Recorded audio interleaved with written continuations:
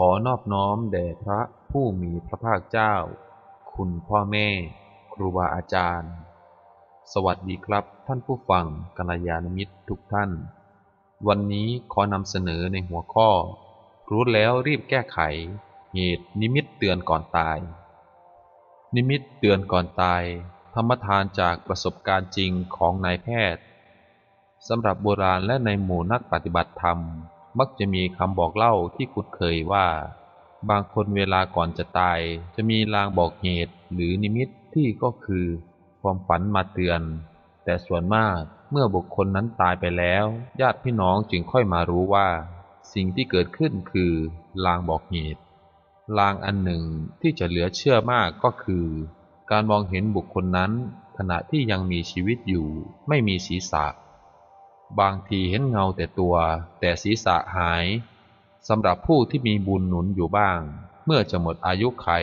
ก็จะมีนิมิตเตือนชัดเจน โดยเฉพาะผู้ปฏิบัติวิปัสสนา พ่อแม่ครูบาอาจารย์กล่าวว่า ปฏิบัติแล้วจะรู้ว่าจะตายเมื่อไหร่ เรื่องเล่าเป็นธรรมทานนี้เป็นเรื่องของอาจารย์แพทย์ นักแพทย์กิจชาจารย์ ผู้มาเป็นสิทธิปฏิบัติเตโชวิปัสสนาหลายปี ชำระจิตได้เป็นลำดับขั้น บัดนี้ท่านอายุ 73 ปี เป็นอายุไขจริง แต่ก่อนจะถึงเวลาหมดอายุไขก็มีนิมิตเตือน ไม่ต้องเชื่อแต่ขออย่าได้ลบหลู่ดูหมิ่น ผู้เมตตานำเรื่องความตายของตน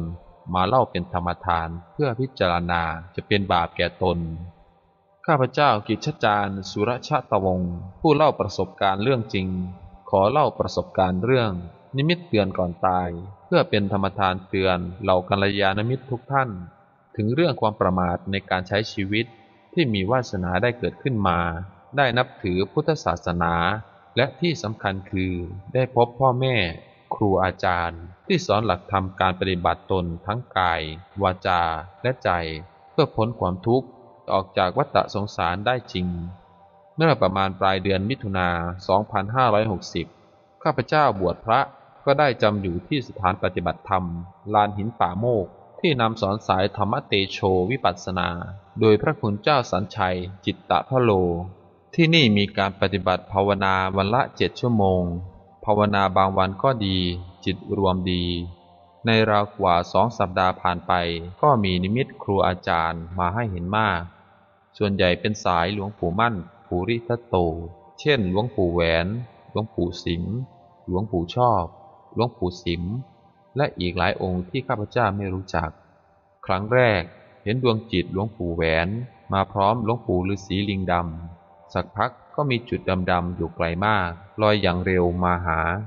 แล้วก็กลายเป็นจุดที่มีแสงเกิดดับเหมือนหิ่งห้อย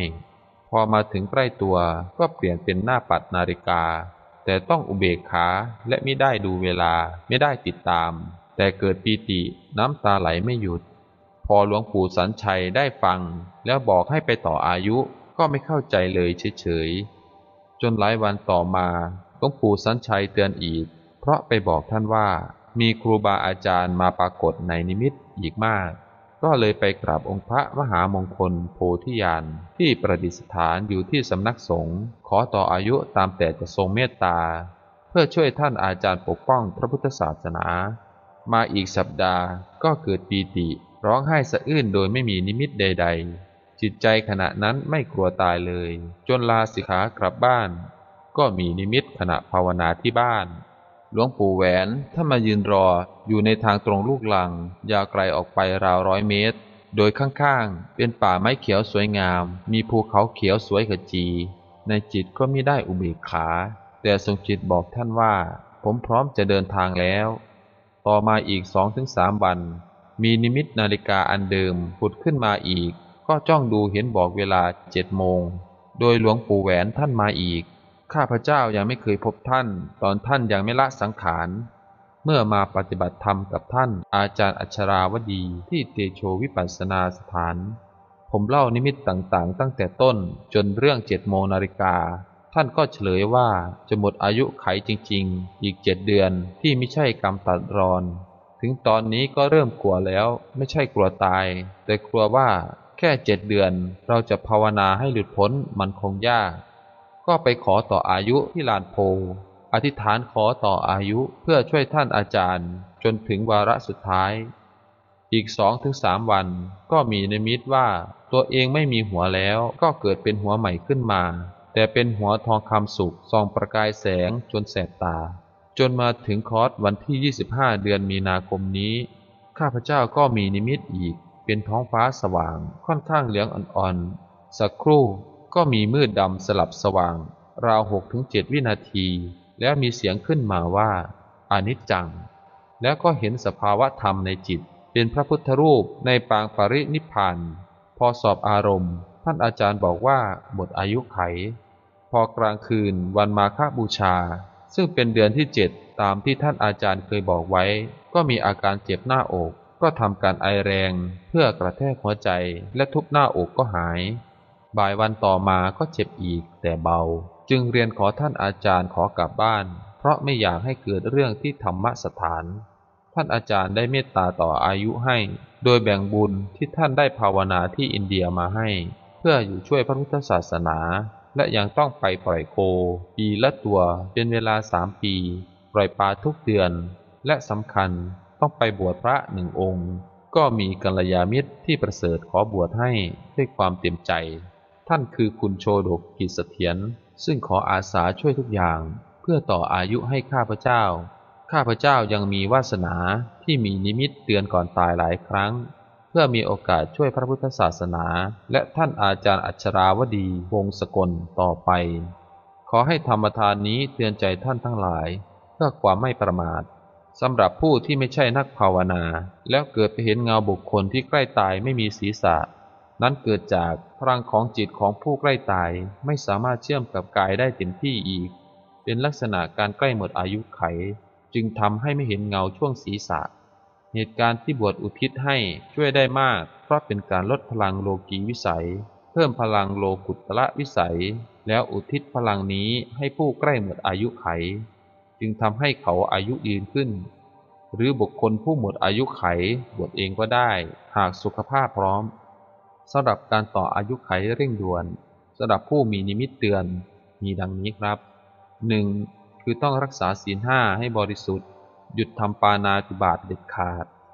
2. ไปถวายพระไตรหนึ่งชุดที่โบสถ์พร้อมจิตถวายพระพุทธเจ้าต่อหน้าพระประธาน แล้วอธิษฐานขอให้พระสงฆ์ได้สามารถนำผ้าไตรนี้มาใช้ได้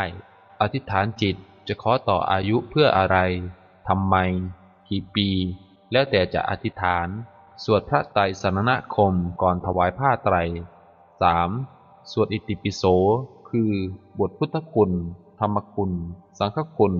108 จบ 9 วัน โดยสวด 9 จบ แล้วพักเป็นช่วงๆ จากนั้นเป็นวันละ 9 จบ ตลอดหนึ่งเดือน 4. ไปปล่อยชีวิตสัตว์ตามกำลังทรัพย์ที่ตนมี การปล่อยวัวเป็นเงินสูง ตัวหนึ่งรวม 30,000 บาท หากไม่สามารถให้ปล่อยปลาที่ซื้อจากตลาดจริงๆ ก็ได้ อย่าทำให้ตนเดือดร้อน อย่าไปหยิบยืมเงินคนอื่นมาทำไม่ดี